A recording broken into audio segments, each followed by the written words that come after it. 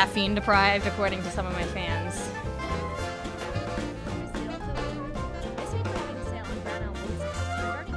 What is it? I'm caffeine deprived, or these are my, my bedroom eyes.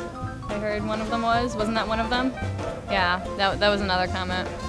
Yeah. Thanks, guys. The Jamestown Distributors Workshop. The latest project done here was the installation of these instant portable garages,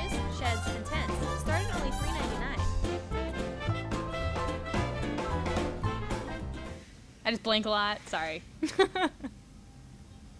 Anywho, okay, ready? nope, not ready.